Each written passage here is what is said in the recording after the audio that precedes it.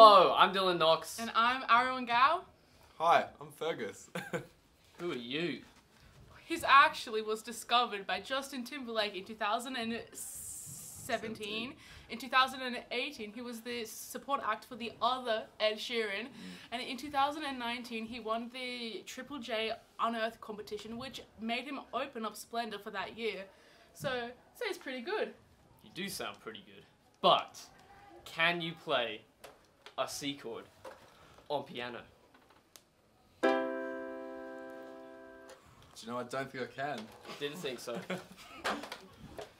Anyways, guys, um, we are looking for some help writing the next school song.